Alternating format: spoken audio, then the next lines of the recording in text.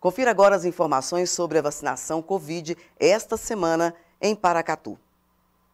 Primeira dose para o público a partir de 12 anos. Segunda dose para o público que tomou a primeira dose da Pfizer há 21 dias ou mais.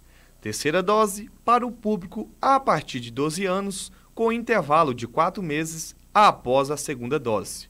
Quarta dose para o público a partir de 40 anos, trabalhadores da saúde e adolescentes de 12 a 17 anos imunossuprimidos, incluindo gestantes e puérperas imunossuprimidas, com intervalo de quatro meses após a terceira dose. Quinta dose para os imunossuprimidos a partir de 18 anos, com intervalo de quatro meses após a quarta dose.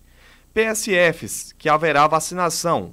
Aeroporto 1 e 2, Alto do Açude, Bela Vista, Chapadinha 1 e 2, JK e Nossa Senhora de Fátima, Prado, Santana, São João Evangelista e Vila Mariana. A aplicação das doses acontecerá nos períodos da manhã, das 8 às 10h30 e da tarde, das 13h30 às 14h30.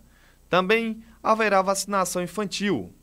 Primeira dose para crianças de 6 meses a 2 anos, segunda dose para crianças de 6 meses a 2 anos que tomarão a primeira dose da Pfizer Baby há 21 dias ou mais.